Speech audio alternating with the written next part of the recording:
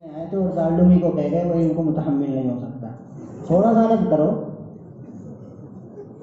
انہوں نے ایک سوال پوچھا ہے کہ آپ علیہ السلاۃ والسلام روح کے ساتھ حاضر و ناظر ہیں؟ اگر ہم یہ کہیں گے کہ روح کے ساتھ حاضر و ناظر ہیں، تو حیات نبی ثابت نہیں رہی۔ کیسے دوغلے آدمی ہیں عقیدہ حیات النبی کی ان کی کتنی کتابیں پڑھیں، وہاں ان کے علماء صراحت کے ساتھ کہتے ہیں۔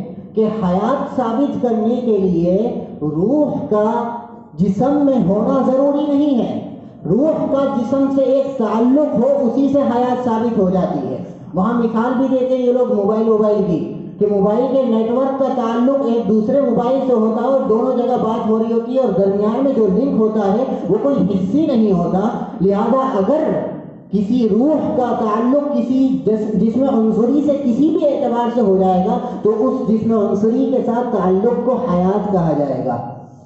جب اس جسم عنصر، تھوڑی علمی سی بات ہے ان کی بات شاید ساری کے آپ حضرات کے سمجھ میں نہیں آئے گی۔ خلاصہ کلام یہ ہے کہ روح کے ساتھ حاضر و ناظر ہے۔ اور روح کا تعلق جسم عنصری کے ساتھ بھی ہے، لہذا وہ جسم عنصری حیات بھی ہے اور آپ علیہ السلاۃ والسلام روح کے ساتھ حاضر و ناظر بھی ہے کوئی ممانعات نہیں کوئی منوع نہیں ہے اس میں۔ انہوں نے ایک اور بات کہنے لگے کہ آپ نے جتنے دلائل پیش کیے، سارے اہرے گہرے دلائل ہیں۔ میں نے جتنے دلائل پیش کیے ہیں، قرآن سے پیش کیے ہیں احادیث سے پیش کیے ہیں عمل صحابہ سے پیش کیے ہیں۔ اگر آپ کو یہی ساری باتیں اہل غیبی باتیں باتیں لگتی ہیں، تو اب جب آپ کھڑے ہوں گے، آپ اہل سنت والجماعت کو ثابت نہیں، اپنے ایمان کو ثابت کریے گا۔ کیونکہ میں نے احادیث اور قرآن کریم بیان کیا ہے، ان سے دلائل بیان کی، آپ ان کو کہہ رہے ہیں، ایسی ویسی باتیں۔ بہرحال، میں مناظرے کو آگے بڑھاتا ہوں، ان کی طرف سے جو سوالات آتے جا رہے ہیں، جو سوالات میرے ذہن میں رہتے ہیں، میں لکھ پاتا ہوں ان سب کا جواب دے رہا ہوں۔ اور ابھی بھی کوئی سوال باقی ہو تو سوال کر لیں، آخر میں انہوں نے کئی سارے سوال کیے تھے۔ منوع سے پیش کیے تھے، ان کا بھی جواب دے دیتا اگر وہ ذہن میں ہوتے، لکھوا دینا بعد میں جواب دے دوں گا۔ مناظرے کو آگے بڑھاتا ہوں۔ اب ان کا ایک اور نظریہ نظریہ میں آپ کے سامنے پیش کرنے جا رہا ہوں۔ جس سے آپ کو خود اندازہ ہو جائے گا کہ واقعی علماء دیوبند افراد و تفرید کے شکار ہیں۔ ان کے اندر معتدل المزاجی نہیں ہے یعنی اعتدال نہیں ہے، ان کے مسلک میں۔ اہل بیت کے سلسلے میں آپ حضرات کا کیا نظریہ ہے؟ آپ حضرات کو معلوم ہے؟ یہ بھی معلوم ہے اہل بیت کون ہے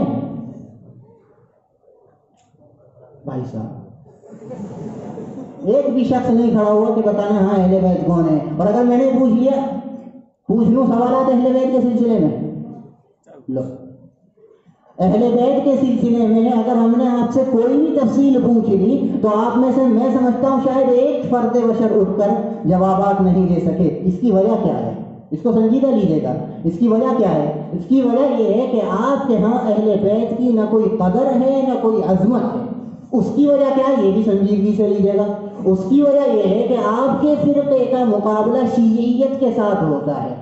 اور جب شیعیت کے ساتھ ہوتا ہے تو ان کے ہاں سبھی چیز اہل بیت ہیں، تو ان کے مقابلے میں آپ اہل بیت کی عظمت تو کیا بہت سے مناظروں میں، بہت سے مقامات پر آپ ان کی عظمت کے قائل تو کیا ہوتے؟ بہت سے مقامات پر تنقید کر بیٹھتے ہیں۔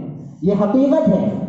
اسی وجہ سے میں کہہ رہا ہوں، علماء دیوبند نہ عقائد میں افراد و تفریح سے پاک ہے اور نہ ہی اس قسم کے نظریات میں افراد و تفریح سے پاک ہے میں اس نظریے پر اور اس بات پر خود بات نہیں کروں گا، بلکہ ایک اس پر مفصل گفتگو کرنے کے لیے اپنے ایک فرد کو بلا رہا ہوں، مولوی سعادت امروی مولوی صدیق۔ نحمده ونصلي على رسول الكريم اما بعد۔ آپ حضرات کافی دیر سے سن رہے ہیں۔ تمام کتابیں شاید کے اوپر اٹھ چکی ہے اب کچھ باقی رہ گئی ہے امید ہے آخر تک وہ بھی اٹھ جائے گی۔ شروع مناظرے سے آپ دیکھ رہے ہیں، سب سے پہلے انہوں نے دعویٰ کیا تھا کہ علماء دیوبند یہی اہل سنت والجماعت ہیں۔ اب اس دعوے کو انہوں نے دلیل یہ پیش کیے اس دعوے کو اور وضاحت کیجیے۔ علماء دیوبند بالفاظ دیگر یہ سمجھیے، جتنے اکابرین ہمارے اسٹیج پہ موجود ہیں۔ حضرت ڈاکٹر سلمان بجنوری صاحب دامت برکاتم العالیہ، حضرت مفتی امین صاحب حضرت مولانا توحید عالم صاحب، یہ دعویٰ تھا کہ یہ تمام حضرات علماء اہل سنت و جماعت میں سے ہیں۔ اور دلیل کیا پیش کیے کہ مولانا سلمان بجنوری صاحب تقریر کے اندر یہ بول رہے ہیں کہ میں علماء اہل سنت میں سے ہوں۔ اور مولانا توحید صاحب کی دلیل کیا یہ کہ وہ اپنی کتاب میں لکھ رہے ہیں، علماء اہل سنت، علماء دیوبند اہل سنت والجماعت میں سے ہیں یعنی میں اہل سنت والجماعت میں سے ہوں۔ تو میں بھی کہہ دیتا ہوں کہ میں بھی اہل سنت والجماعت میں سے ہوں، تو کیا پریشانی ہے آپ کو؟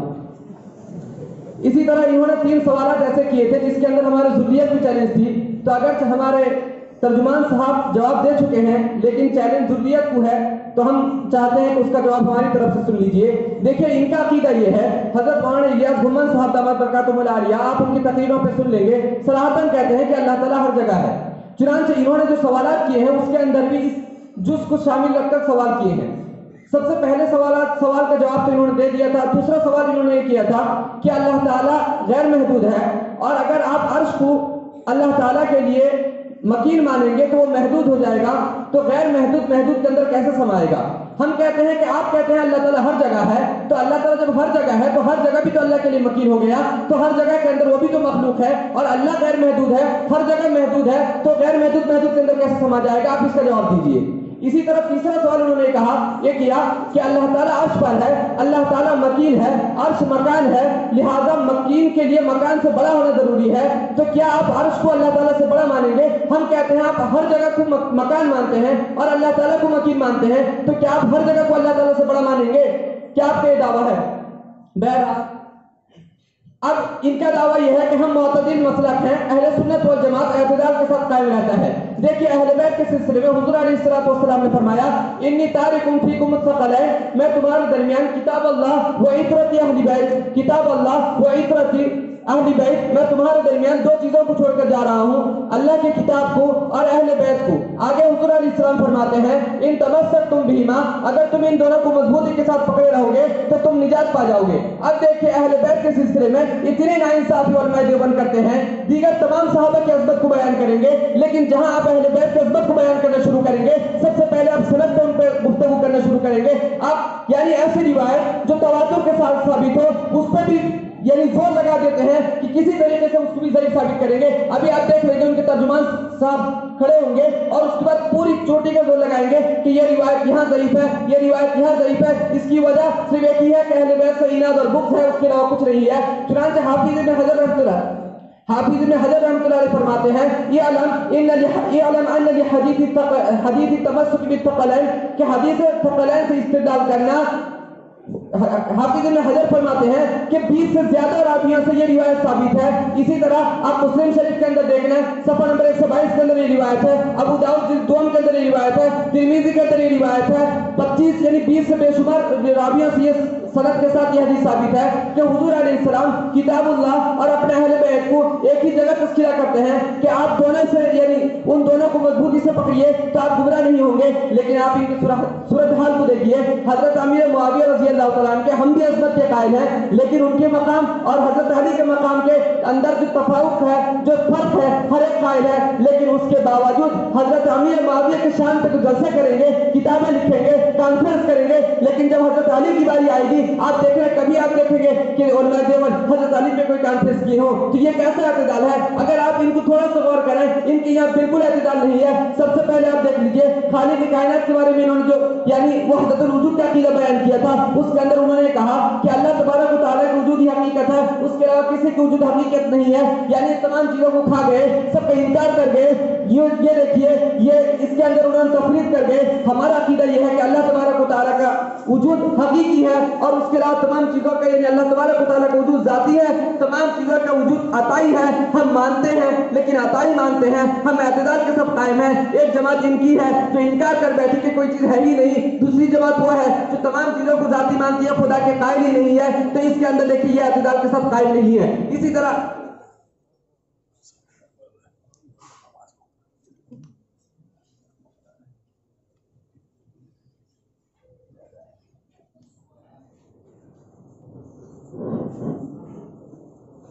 سوالات تو ان کی طرف سے اس انداز کے آ رہے ہیں کہ جواب کے بالکل لائق نہیں، بالکل پھونڈے سوالات انہوں نے ابھی ایک سوال کیا کہ علماء دیوبند لکھتے ہیں کہ روح اگر جسم سے نکل جائے تو آدمی اس کو مردہ نہیں کہا جائے گا، بلکہ تعلق روح کافی ہے۔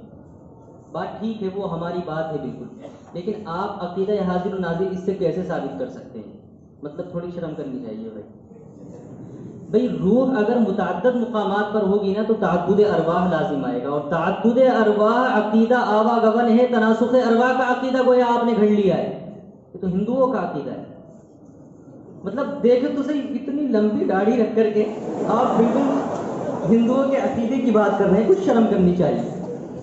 ادھر سے ایک فرد آیا آگے کہنے لگے، میں بھی دعویٰ کر رہا ہوں آلو سننا والجماع ہوں میرے بھائی خالی دعوے سے کام نہیں چلے گا، آپ اس دعوے پر اتریے گا تو ہمارے ان اکابر نے دعویٰ کیا تو اترے بھی ہیں۔ آپ دعویٰ ترجمان صاحب نے آ کے دعویٰ کیا تھا اور بتائیے ان دعوے اس دعوے کی کیا حیثیت ہے۔ کبھی کہیں جاتے ہیں، کبھی کہیں جاتے ہیں۔ ایک عقیدہ تو اہل سننا والجماع سے انہوں نے ثابت کیا ہو، بالکل نہیں۔ لیکن بہرحال دعوے ہیں، ان کے اب کیا کیا جائے اس کا؟ وہ آئی تھی ایک صاحب سوالات کے جواب دینے کے لیے ضروریت جواب دے تھوڑی شرم کرنی چاہیے۔ ضروریت نے کیا جواب دیا؟ کہ اللہ رب العزت جب ہر جگہ موجود ہے تو یہ تو جگہ مکان ہوگی تو یہ مکان کے اللہ تعالیٰ سے بڑا ہے۔ میرے بھائی، آپ اپنے عقیدے پر غور کریں۔ آپ اللہ تعالیٰ کو عرش پر موجود مانتے ہیں جسم کے اعتبار سے۔ تو آپ تجسیم کے قائل ہو رہے ہیں، اللہ کے لیے جسم ثابت کر رہے ہیں۔ ابن تیمیہ والی بات کے عرش چوں چوں کرتا ہے، آپ وہاں کی بات کر رہے ہیں۔ اور ہم اللہ تعالیٰ کو ہر جگہ موجود جسم کے اعتبار سے نہیں مانتے، علم اور قدرت کے اعتبار سے مانتے، علم قدرت کے لیے جگہ کی ضرورت نہیں ہوتی ہے۔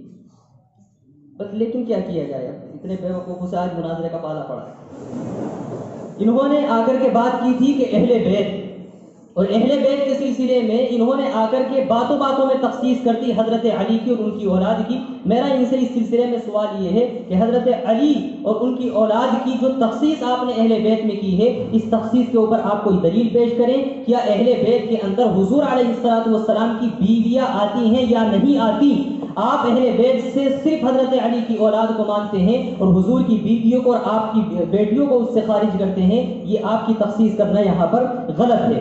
اسی طریقے سے انہوں نے یہ کہا کہ تم اہل بیت کو نہیں مانتے۔ بھائیو، نماز میں ہم کیا پڑھتے ہیں؟ اللہم صلی علی محمد وعلی آل محمد۔ اگر ہم اہل بیت کو نہیں مانتے تو آل محمد پر درود پڑھنے کا کیا مطلب ہو؟ اتنی شرم، اتنی یعنی ایک بالکل بدیہی چیز اور ایک واضح چیز کا یہ بطلان کرنے کے لیے کھڑے ہوئے ہیں اور کہہ رہے ہیں کہ ہم اہل بیت کو نہیں مانتے، اہل بیت پر یہ جلسے نہیں کرتے، ہم امروہہ سے متعلق ہمارے یہاں ایک جگہ ہے نوگاوا اس جگہ کو نوگاوا سادات کہا جاتا ہے، وہاں پر شیعہ رہتے ہیں۔ شیعوں کے مقابل ہمارے یہاں چار جلسے ہوتے ہیں۔ حضرت صدیق اکبر کی شان میں، فاروق اعظم، عثمان غنی، حضرت علی جی مرتضیٰ اور حضرت حسنین کی شان میں جلسے ہوتے ہیں۔ اور وہ مشاعرہ ہوتا ہے منقبت خلفائے راشدین۔ بس، اور وہاں پر جلسہ سجایا جاتا ہے اور اور تو یہاں سے دارالعلوم سے اس میں کبھی کبھی اساتذہ بھی چلے جاتے ہیں۔ یعنی اہل بیت کی شان میں وہاں جلسے بھی ہوتے ہیں، مناظرہ بھی اور مشاعرہ بھی ہوتا ہے۔ تو ان کا یہ الزام دینا کہ تم اہل بیت پر جلسے نہیں کرتے، یہ الزام دینا بالکل ایک باطل سی چیز ہے۔ اور ہماری درسگاہوں میں، ہماری تقریروں میں کبھی اہل بیت کے خلاف اگر کوئی بات آتی ہو، تو وہ بالکل غلط ہوتی ہے ایسا اس انداز سے ہوتا ہی نہیں ہے۔ ہم اگر کبھی اہل بیت کے حوالے سے بولتے ہیں، تو ہم غلو کی تردید کرتے ہیں، جو غلو یہ شیعوں والا پیش کرتے ہیں۔ اور ان کا یہ کہنا تم اہل بیت کو نہیں مانتے۔ یہ رحماء بینہم مولانا محمد نافع صاحب کی کتاب ہے۔ اس میں اہل بیت کی عظمت کو اور ان کے فضائل کو بیان کیا گیا ہے۔ اگر ہم اہل بیت کو نہیں مانتے، تو دیوبندی علی مولانا محمد نافع صاحب اہل بیت پر قطعا نہ لکھتے۔ حضرت علی المرتضی، یہ اہل بیت میں آپ کے عقیدے کے مطابق ہیں۔ مولانا محمد نافع صاحب، جو پاکستان قرآن کے عالم ہیں اور ان کی کتاب پر حضرت مفتی تقی صاحب فرماتے ہیں، یہ کتاب رحماء وینہم صرف اردو میں ہی منفرد نہیں، بلکہ عربی لٹریچر میں بھی اس قسم کی کوئی کتاب احتر کے علم میں نہیں ہے۔ یہ رحماء و بینہم اہل بیت کی عظمت کو بیان کرنے کے لیے اور خلفۂ راشدین کے آپسی تعلقات کو۔ حضرت علی المرتضیٰ کی عظمت کو بیان کرنے کے لیے یہ کتاب مستقل موجود ہے۔ اسی طریقے سے یہ کہتے ہیں، اہل بیت کو نہیں مانتے، کتاب دیکھیے گا، کتاب کا نام گلدستہ اہل بیت۔ مولانا طارق جمیل صاحب مولانا نے کتاب کو تصنیف کیا، گلدستہ اہل بیت کہتے ہیں، اہل بیت کو نہیں مانتے۔ حضرت علی المرتضیٰ کی شان میں دوسری کتاب مولانا زکریہ عثمانی فاضل جامعہ عثمانیہ پشاور۔ حضرات حسنین کی سیرت پر مولانا زکریہ عثمانی ہی کی یہ کتاب ہے۔ اسی طریقے سے سیرت خواتین اہل بیت اتنی موٹی کتاب لکھی گئی ہے۔ مولانا محمد محضورہ صاحب پاکستانی نے اس کو تصنیف کیا۔ کہتے ہیں اہل بیت کو نہیں مانتے۔ عجیب و غریب باتیں کرنا ہی نہیں سمجھ میں آتا ہے کہ ان سے کس طریقے سے نمٹا جائے۔ اسی طریقے سے انہوں نے اہل بیت کے اندر تخصیص کر دی اور تخصیص میں حضرت علی اور ان کی اولاد کو ثابت مانا ہے کہ اہل بیت میں صرف وہی ہے، یہ بنات اربعہ کو اور ازواج متحرات کو اہل بیت میں نہیں مانتے۔ یہ اتنی ساری تفسیر اہل السنہ والجماعہ کی کتابیں ہیں۔ انہوں نے شروع میں سنیت کا دعویٰ کیا تھا اور نظریہ یہ سنیت کے خلاف پیش کر رہے ہیں۔ ہمارے سامنے یہ تفسیر قرطبی موجود ہے۔ اس کی جن نمبر چودہ، صفحہ نمبر ایک سو اٹھارہ پر مفسر قرطبی فرماتے ہیں کہ قرآن کریم کی آیت، ان یرید، انما یرید اللہ لیذھب عنکم الرجس اہل البیت۔ اہل بیت کی تفسیر میں وہ حضور علیہ الصلوۃ والسلام کے تمام گھر والوں کو، بیویوں کو اور بیٹیوں کو بھی اس کے اندر شامل مانتے ہیں۔ امام راضی نے تفسیر کبیر کی جن نمبر پچیس کے اندر اسی آیت کے تحت اہل بیت سے نبی کی بیویوں کو اور نبی کی بیٹیوں کو بھی اہل بیت میں ہونا داخل مانا ہے۔ علامہ آلوسی علیہ الرحمہ نے روح المعانی کی جن نمبر بارہ جن نمبر بارہ کے صفحہ نمبر بیس پر، اس میں دو جز ہیں۔ نمبر بارہ میں دوسرے جز کے صفحہ نمبر بیس پر اسی آیت کے تحت اہل بیت سے اس بات کو ثابت کیا ہے کہ وہاں اللہ کے رسول صلی اللہ علیہ وسلم کی بیویاں بھی مراد ہیں، بیٹیاں بھی مراد ہیں۔ ہم یہ کہتے ہیں، آپ کا جو نظریہ ہے، وہ حضرت علی کی صرف تخصیص کا ہے۔ آپ تخصیص پر جو نظریہ پیش کر رہے ہیں، یہ اہل سنہ والجماعہ کی فکر کے بالکل خلاف ہے۔ مفسر بیزاوی نے تفسیر بیزاوی جن نمبر دو، صفحہ نمبر دو سو دس پر نقل فرمایا ہے، اور اس یہاں والاحتجاج بذلك على عصمتهم وقول اجماعهم حجت ضعیف بعض لوگ مفسر بیزاوی فرماتے ہیں، بعض لوگ اس آیت سے صرف اہل بیت میں حضرت اولاد کی بات، حضرت علی کی اولاد کی تخصیص کرتے ہیں۔ مفسر بیزاوی فرماتے ہیں، ان کا یہ استدلال کرنا ضعیف ہے۔ موجودہ دور کے مفسر ہیں سفت التفاصیر والے محمد علی صابونی صاحب۔ انہوں نے صفحہ نمبر جن نمبر دو، صفحہ نمبر آٹھ سو ستانوے پر صفحہ نمبر آٹھ سو چھیانوے پر اہل بیت سے کی تفسیر میں لکھا ہے، یا اہل بیت النبوہ، نبی کے گھر والے یہاں بناتے اربعہ بھی اور نبی کی بیوی بھی مراد ہیں تفسیر جلالین کے اندر بالکل یہی بات لکھی گئی ہے جو اہل سنہ والجماعہ کا موقف ہے اور نور الانوار میں بار بار تفسیرات احمدیہ کا حوالہ آتا ہے۔ اس تفسیرات احمدیہ کے اندر ملا جیون علیہ الرحمہ فرماتے ہیں، فنقل عن اکرمہ ان المراد به کہ اس سے مراد اللہ کے رسول صلی اللہ علیہ وسلم کی بیویاں ہیں۔ ہم کہنا یہ یہ چاہتے ہیں کہ آپ نے جو اہل بیت کے حوالے سے نظریہ پیش کیا ہے، وہ رافضیت اور شیعیت کو تو ہو سکتا ہے۔ اہل سنہ والجماعہ کا نظریہ نہیں ہوتا، ہو سکتا۔ اور آپ اہل سنہ والجماعہ کے مدعی تھے، لیکن نظریات آپ کسی اور کے پیش کر رہے ہیں۔ اہل بیت کے حوالے سے علماء دیوبند کا موقف الحمدللہ انتہائی معتدل ہے۔ یہ اہل بیت کو مانتے ہیں، ان کی عظمت میں کتابیں بھی لکھتے ہیں، جلسے بھی کرتے ہیں، اور ساتھ ساتھ میں موقف جو اعتدال والا موقف ہے، اس کو پیش کرتے ہیں کہ اہل بیت ہمارے سروں کے تاج تو ضرور ہیں، لیکن اہل بیت کو تمسک بالکتاب اور تمسک بالسنہ کی طرح درجہ نہیں دیا جا سکتا ہے، بلکہ یہ جو قرآن کے ایک آیت حدیث پیش کر رہے تھے، کتاب اللہ وعطرتی تو کتاب اللہ وعطرتی کا مطلب یہ ہے کہ اللہ کی کتاب کو اور میری اولاد کو مضبوطی سے پکڑ لو۔ علماء اہل سنہ والجماعہ نے اس کا مطلب یہ بیان کیا کہ اللہ کے رسول فرمانا چاہتے ہیں کہ اے اللہ، اسألکم علیہ اجرا الا المودۃ فی القربى کہ میرے جو گھر والے ہیں، ان گھر والوں کی تم عظمت کو اور ان کے سلسلے میں تم رافت اور رحمت کو لازم پکڑو۔ یہ اہل سنہ والجماعہ کا موقف ہے۔ تمسک بالکتاب اور تمسک بالسنہ کی طرح اہل بیت کے حوالے سے اہل سنہ والجماعہ اس چیز کے قائل نہیں ہے یہ جو انہوں نے فکر پیش کی ہے، یہ اہل سنہ والجماعہ کی قطن فکر نہیں ہے۔ اور ان کے جو فرد آئے تھے، وہ بات کرنے کے لیے، ان کے حوالے سے دیکھیے، ہمارا ایک شعر آ رہا ہے۔ وہ ان کی اس بات کا جواب دے گا مولوی محمد احمد ممبئی۔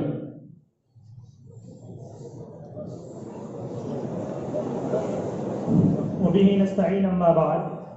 سامعین کرام، آپ تمام حضرات شروع سے لے کر اب تک مکمل مناظرہ سماعت فرما رہے ہیں۔ حقیقت حال آپ تمام حضرات کے سامنے آ چکی ہے کہ ترجمان فریق مخالف اگرچہ اہل سنہ والجماعہ کی ترجمانی کا مدعی ہے۔ لیکن حقیقت یہ ہے کہ نہ تو وہ اہل سنہ والجماعہ کی ترجمانی کر رہے ہیں اور نہ ہی ان کی فکر کسی اعتبار سے اہل سنہ والجماعہ سے میل کھاتی ہے۔ بلکہ انہوں نے اس مرتبہ تو حد پار کر دی اور رافضیت اور شیعیت کی ترجمانی کرتے ہوئے اہل بیت کی محبت میں ایسے غلو سے کام لیا ہے، جس سے یہ بات واضح ہو گئی ہے کہ ان کا اہل سنہ والجماعہ سے کوئی تعلق نہیں۔ ابھی چوچو کا مربع آئے تھے، وہ اجرتی والی روایت کو پیش کر رہے تھے۔ لیکن مکمل انداز میں پیش نہیں کر سکے اور خلط مبحث کر کے چلے گئے۔ اس حدیث کو سمجھنے کے لیے ہم کو تین چیزوں پر غور کرنا پڑے گا۔ پہلی چیز کیا ہے کہ اس حدیث کا اہل سنہ والجماعہ کے ہاں مفہوم کیا ہے۔ چنانچہ اس کا مفہوم مشاہد الاسلام صاحب نے بیان کر دیا۔ دوسری بات یہ ہے کہ اہل تشیعوں نے اس حدیث سے کس بات پر استدلال کیا ہے؟ تیسری چیز یہ ہے کہ اس حدیث کے الفاظ کیا ہیں اور محدثین کے نزدیک اس حدیث کا مقام کیا ہے اور اس کی حیثیت کیا ہے؟ سب سے پہلے میں ترجمان فریق مخالف سے یہ سوال کرنا چاہوں گا کہ آپ کا عقیدہ شیعوں کے مطابق ہے یا نہیں؟ سامین حضرات سے گزارش ہے کہ پروگرام بہت طویل نہیں، باقی صرف ایک ایک فرد دونوں طرف سے باقی ہیں۔ لہذا پروگرام آخر تک سنیں۔ آخر میں حضرت حکم مستحکم صاحب کا بیان ہوگا۔ اس کے لیے آپ تمام حضرات یہاں بیٹھے رہیں۔ پروگرام بہت طویل نہیں، باقی صرف ایک فرد باقی ہے دونوں جانب سے۔ میرا ترجمان فریق مخالف سے یہ سوال ہے کہ کیا آپ کا عقیدہ شیعوں کے مطابق ہے یا نہیں؟ اگر آپ کا عقیدہ شیعوں کے مطابق ہے تو بیان کیجیے، اور اگر نہیں ہے تو اس حدیث کی شہید، صحیح تشریح بیان کیجیے، جو کہ جمہور اہل سنہ والجماعت نے بیان کی ہے۔ اب تیسری بات رہ جاتی ہے کہ اس حدیث کا جمہور محدثین کے ہاں مقام کیا ہے، اس کی حیثیت کیا ہے۔ تو میری یہ ذمہ داری ہے کہ میں اس حدیث کی حیثیت کو بیان کروں۔ محترم سامعین، اس حدیث کو حدیث الثقلین کہتے ہیں، جس کو متعدد صحابہ کرام نے نقل کیا ہے، جن کی تعداد تقریباً دس ہے، لیکن روایت کے الفاظ میں باہم اختلاف ہے۔ چنانچہ بعض روایت میں کتاب اللہ و سنتی اور بعض میں کتاب اللہ و سنت نبی ہی کے الفاظ موجود ہیں۔ لیکن یہ دونوں روایت صحیحین میں موجود نہیں۔ اور جو مریقیں مخالف آ کر روایت پیش کیے تھے کتاب اللہ ہی کتاب اللہ ہی وحید رتی اس حدیث کا میں آپریشن کرتا ہوں۔ چنانچہ سب سے پہلے میں کتاب اللہ ہی وحید رتی والی حدیث میں سے حضرت علی کی روایت کو لیتا ہوں۔ حضرت علی کی یہ روایت علامہ موسیری کے الحاق الخیرہ، جلد سات صفحہ دو سو دس پر، ابن حجر کی المطالب العالیہ، جلد چار صفحہ دو سو باون پر حضرت امام تحابی کی شرح مشکل الاثار میں اسحاق ابن راہوے کے حوالے سے موجود ہے۔ لیکن یہ روایت ضعیف ہے، اس لیے کہ اس کی سند میں کثیر ابن زید ہے۔ امام نسائی نے اسے ضعیف قرار دیا ہے۔ ابن حبان نے فرمایا کہ یہ آدمی بہت زیادہ غلطیاں کیا کرتا تھا۔ ابن حجر نے انہیں صدوق یختیو کہا ہے کہ وہ آدمی سچا تو ہے لیکن غلطیاں کیا کرتا ہے۔ دیکھیے الجرح والتعدیل، صفحہ 8 سے 41 الدعباء والمتروکین، صفحہ پانچ المجروحین، صفحہ 894 دوسری روایت حضرت زید ابن ثابت کی ہے جو کہ مسند عبد بن حمید میں موجود ہے۔ اس کی اس کی سند میں ایک راوی، یحییٰ ابن عبداللہ الحمانی ہے۔ ان پر کذب اور سچے کی تہمت ہے۔ اگر آپ حوالہ دیکھنا چاہتے ہیں، تو ابن حجر کی تہذیب التحدید صفحہ تین سو ننانوے پر دیکھیں۔ تیسری روایت حضرت زید ابن ارقم کی ہے۔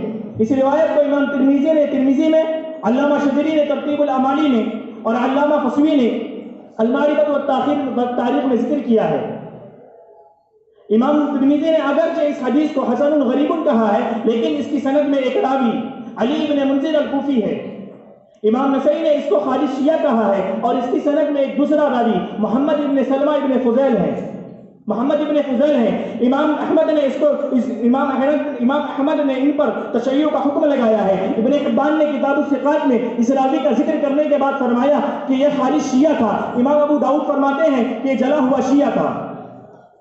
حفیظ ابن تہمیہ نے امام احمد کے حوالے سے ان کے، ان کی تمام تر روایت کو ضعیف قرار دیا ہے۔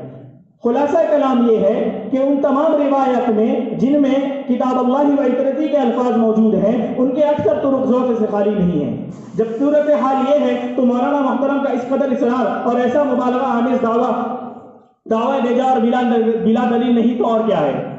ہم کہنا یہ چاہتے ہیں کہ ہم صحابہ کے اہل بیت کے عظمت کو کل بھی تسلیم کرتے تھے اور آج بھی تسلیم کرتے ہیں۔ لیکن اہل بیت کے حوالے سے جو تصور آپ پیش کرنا چاہتے ہیں، جو در حقیقت اور عبدیت اور شیعت کا تصور ہے، اس کو ہم نے نہ کل تسلیم کیا تھا، نہ آج تسلیم کرتے ہیں۔ وآخر دعوانا الحمدللہ رب العالمين